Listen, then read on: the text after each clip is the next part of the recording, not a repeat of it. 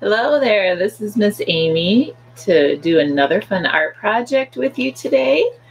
Um, today we're going to do some drawing and create some wonderful texture in this cute shaggy dog. So let's see what art supplies you need to complete this project. You will need a piece of drawing paper or plain white paper will work also. You will need a pencil, an eraser, and a piece of paper towel. That is all you need for that project. So let's get started on this fun shaggy dog. All right, so we're gonna put our paper in portrait direction, but you could actually do it either way that you want. It'll fit either way nicely on the paper.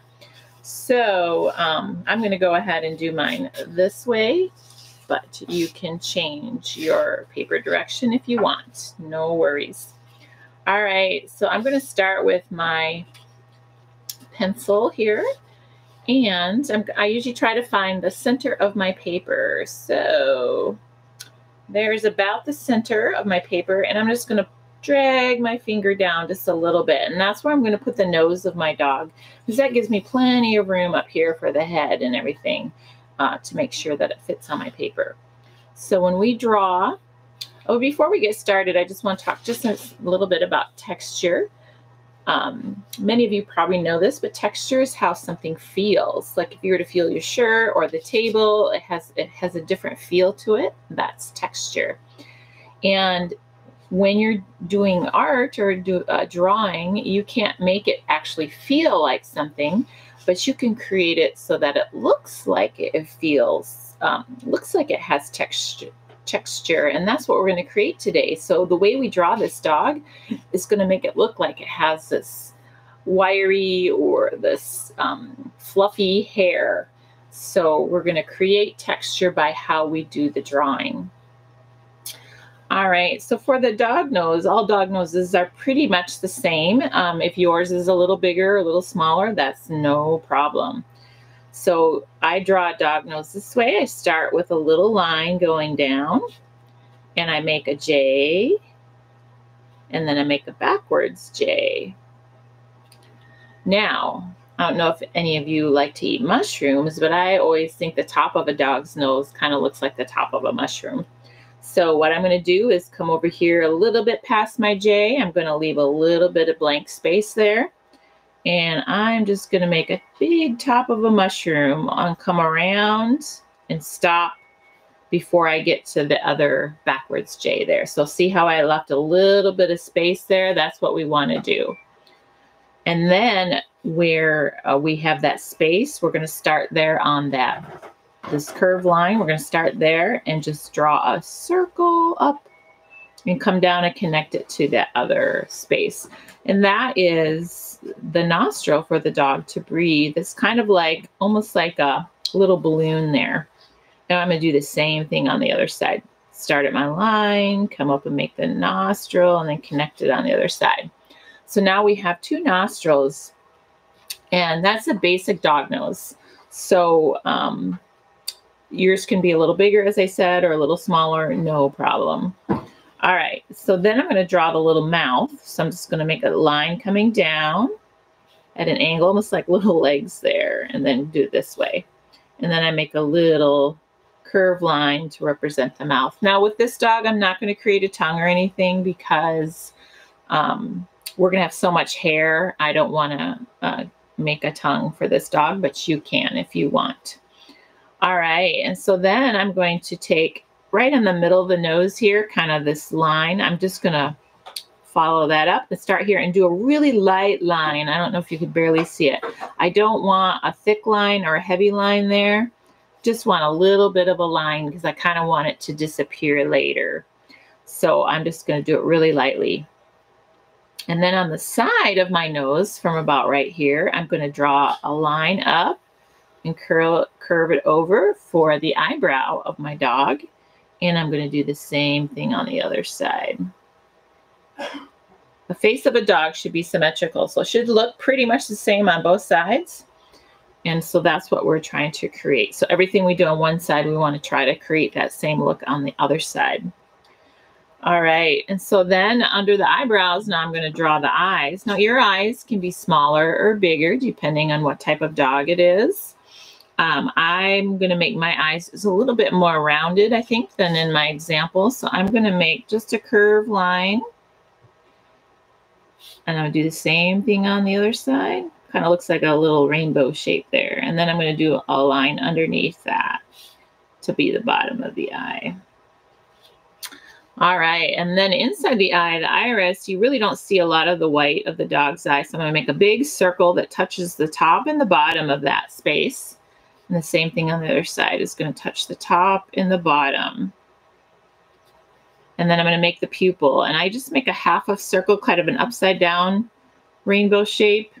Um, dogs are smaller than we are and they look up at us. And so I think this dog looks really cute if it kind of looks like it's looking up at us.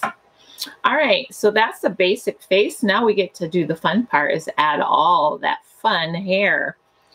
So what are what we're drawing is we're just going to draw some lines basically is all we're doing and and we want to just put the lines in different shape or in different directions. Um, so we're going to start in one area and work our way around the dog because we're going to draw lines in different directions. And they're all going to be lines. We're not going to scribble, color. It's all going to be lines.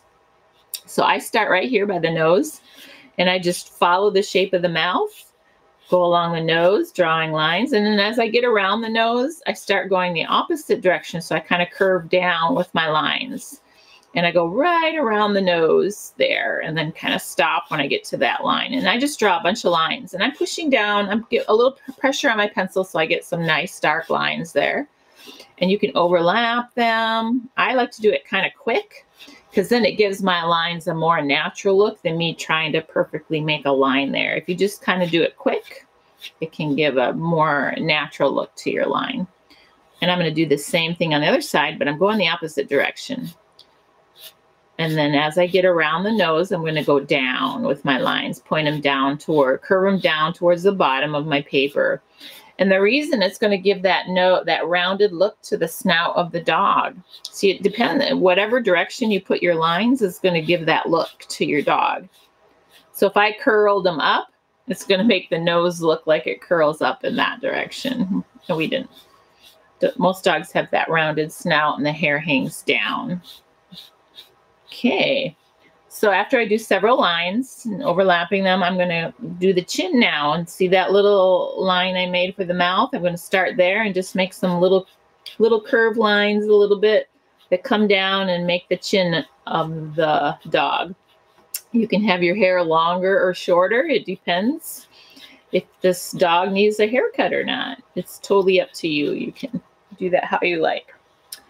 All right, so now we're gonna work our way up the face. So that center line that we made here, we're gonna make the hair, I'll show you on my example so you understand. That's that line that I made right up here. And I'm gonna start there and from that line and curve the hair down. And that's when a dog's hair is long like that, it kind of grows out from the nose like that. So, so I'm gonna start with that line and I'm just gonna curve it around in a down, kind of down, just like I did these ones, curving down towards the bottom of my paper. And I'm going to follow that line all the way up to when I get to the eye, and then I'm going to stop there. And I'm just going to do a bunch. A bunch of lines. And I'm using a little bit heavier pressure just so I get a nice dark line. Now your lines may not be quite as dark as mine because you might be using a slightly different pencil than me. I'm using a pencil that has a really soft lead, and so it makes darker lines. So don't worry if yours isn't quite as dark as that, that's okay. It depends on what pencil you're using. So I'm going to do the same thing on the other side. Make a bunch of lines, curving down. And then when I get up near the eye, I'm going to stop. And I need to sharpen my pencil. So when you use a softer lead, you will need to sharpen it a little more often. All right. Add a few more lines in there. All right, so now oh, that's looking cute. So now I still have that line that goes up here, and I'm, I want to go over the eye now with my hair. So I'm going to start at that middle line and I'm going to come over the eye. Over the, make those long eyebrows. And I'm going to follow my line all the way up till I get to where how high, high I want my head. And I probably want it just about there. Yours may vary a little bit different than mine. That's okay. And I'm just going to continue making those. Sometimes you turn your paper. It's easier to make those curved lines. Curving them over the eye. And I do the same thing on the other side. Curving them over the eye. And if you're not quite liking lines, don't worry because you can go back later and change them. So don't worry. You can, uh, we'll be doing some different techniques so that you can add more, erase some. Okay, I like to make a few little hairs to kind of sticking up on the head. I think that's cute. So there's the top of the head of my dog with all that long hair. He kind of needs a haircut, I think. All right, once I've done that, made all my hair, I'm going to just make a few underneath my eye, following the shape of my eye. Just a few, kind of filling in that space there. All right, and now we've got um, our face, like the cheeks of our dog. So we have the, the nose or the snout, and then we want to add a little bit of hair on each side just to create that face, the side of the face. So what I do is I just start under the eye here and I put lines go facing down, curving slightly down, and to make that cheek of my dog there. You don't need as many lines there, overlapping them. And then I'm going to do the same thing on the other side, just to make that cheek of my dog.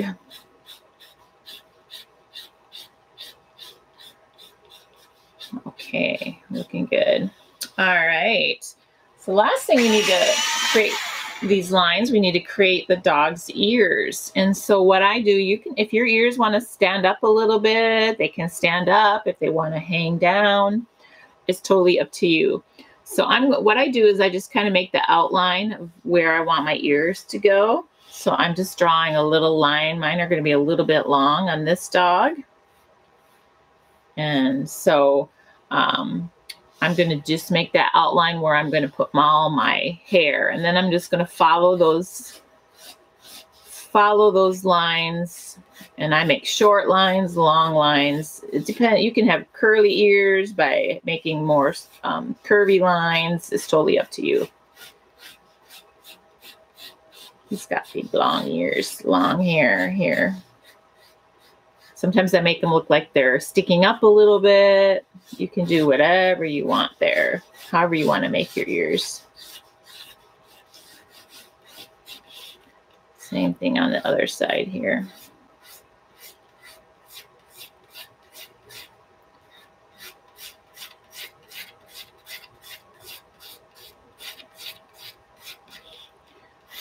And I'm using a little bit heavier pressure on my pencil so I get a nice dark line.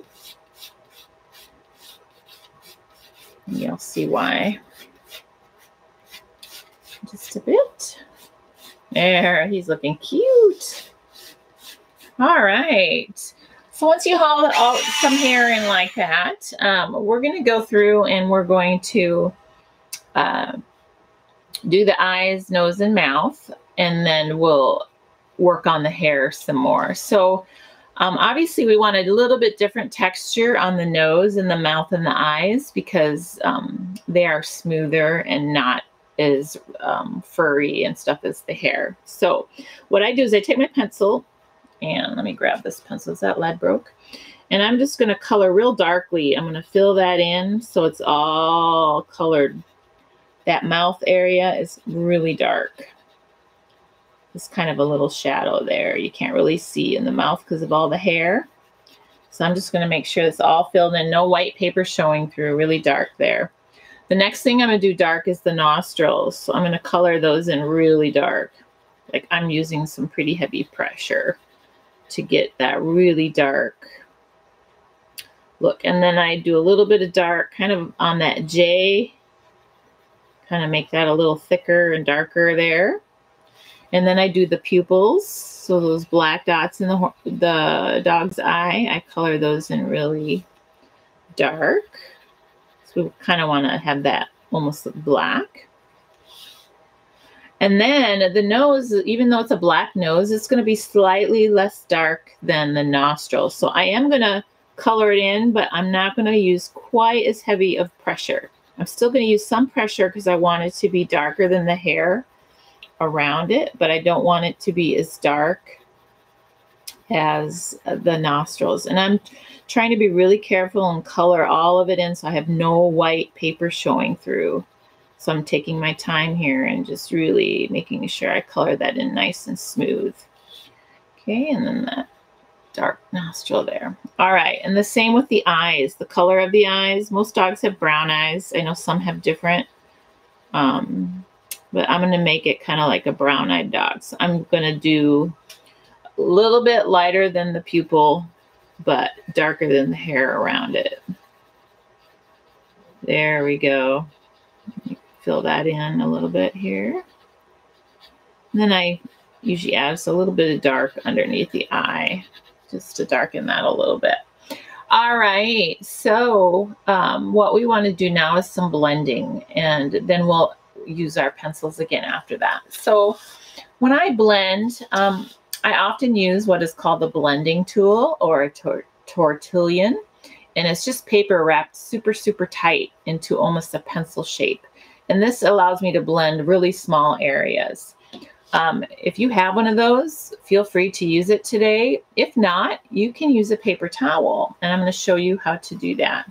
So you want to take your paper towel and fold it in half, fold it in half again, and then I roll it really tight like a pencil shape, almost like the shape of this blending tool there. So I'm trying to get it as tight as I can.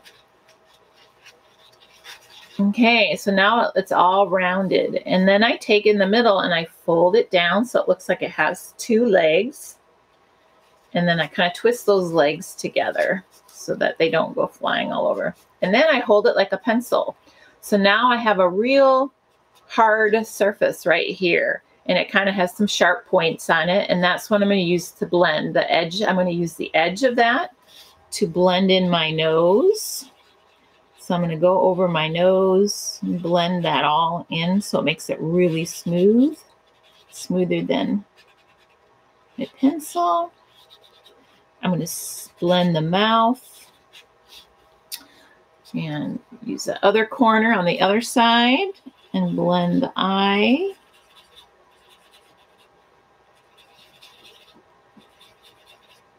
Okay, then what I'm going to do is I can use the, the bigger surface part of that as I hold it like a pencil and I can blend over my hair.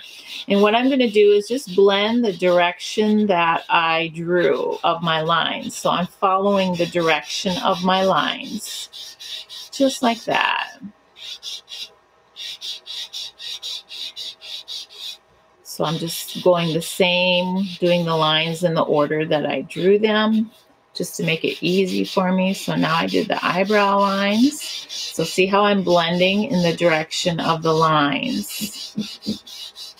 And I'm going to blend on the other side in the direction of the lines. Underneath the eye, the cheeks of my dog.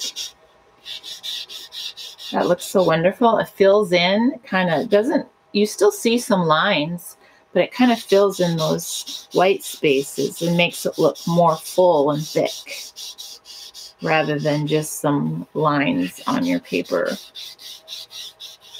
Do the ears. All right. So your dog may be a little bit lighter than mine if you used a lighter, a harder lead on your pencil, if you had a different pencil than me. So that's okay. All right, so once you've got your dog all blended in, we are going to go back and we are going to take our pencil one more time and we're going to add some really dark lines to create a little bit of uh, more texture and a little bit of a, a shadow or a value. So between the ear and the dog's head, I'm going to just make some dark lines in there and that'll help kind of separate the two. So it'll look like an ear. So I'm just drawing some, I'm putting pretty heavy pressure and just drawing some lines on my ear there along the side of my face of my dog.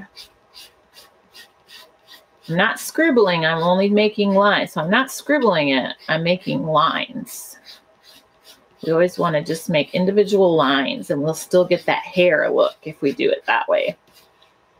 So there, now it looks like a little bit of shadow there. And then I'm going to do it on the side of the face. Add some lines in there. Some darker lines on the side of the face. underneath the eye just a little bit. Maybe a couple over the eye. Not too many though. And then maybe under the mouth or under the nose and under the chin. There we go. Now I've got some dark lines. This is to just create more texture because you have some really dark areas, some medium areas, and now we're going to create some light areas. So this is where I use my eraser to draw lines. So don't think of erasing something. Think of it as drawing with your eraser. So I have an eraser with, I broke mine in half, so I had a sharp edge. You don't have to do that, but I just do that because I like a nice sharp edge. And a little trick to cleaning your eraser is to use a little piece of sandpaper. And that will clean your eraser up and make it nice and clean. So you have a nice clean eraser to use. So maybe your mom or dad has a little piece of sandpaper they'll let you have and that'll keep your erasers clean. All right, so now I have a nice little clean edge to my eraser there, and I'm going to use that to draw lines. So I'm going to follow the same order that I did when I was drawing with my pencil, but I'm going to make fewer lines with my eraser. I'm not going to make as many lines. So I'm going to make some line, I'm using some pressure so I can see the lines. So I'm going to follow the nose hairs here making a few lines. I'm going to follow these ones on top of the nose here, on top of the snout. And as your eraser gets dirty, you can just change to a different side, to a different side of your eraser. So you want to make sure you're using a clean eraser to draw your lines. There. Now you're going to see how different that looks. Now I'm not going to add any white lines where I put the really dark lines on the side of the face and on the on the inside of the ears. I'm not going to add any eraser lines there. Okay, so now I'm going to follow above my dog's eye on his um, head, just making a few lines.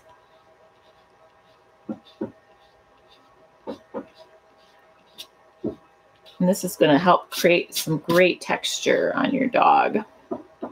And I'm going to do some lines on the ear. See how I'm not doing quite as many lines as I did with my pencil. So I just want a few there. There, what a difference that makes. Now it looks really cool. And I have some texture and value. Oops, one more thing I forgot. I almost forgot this part, and this important part. One other place we need to use our eraser. Let me clean my eraser here. Um, I'm going to use the corner of my eraser and I want to make uh, across the top of the nose here, inside the nose, I'm going to make a little line there with my eraser. So I'm going to make the little line and then usually right underneath by the nostril, kind of underneath the nostril just a tiny bit, I'm going to just make a little line there with my eraser. It kind of gives the nose a shiny, like it's a wet nose look. And then on the eye, I'm actually going to draw a little dot with my eraser between where the pupil and the colored part of the eye are. So I'm just going to make a little dot there. Oops, a little bit big. If it's a little bit too big, what you can do is you can take your pencil and you can fill in a little bit. If it's too big, that's okay. Or you can use your little blending tool to kind of fill in where you get a little too far. There we go. I just want a little bit of white on the eye and that just gives it a little bit of reflective light and makes it look a little more real. So there you go. There, get it out of the glare of the light. Now that's really cool looking. That's a cute dog. So that is how you make a textured shaggy dog. So have fun with this project. I, I always have fun when I get to create this little shaggy dog. So thank you for joining me today. Have a wonderful day. Bye-bye.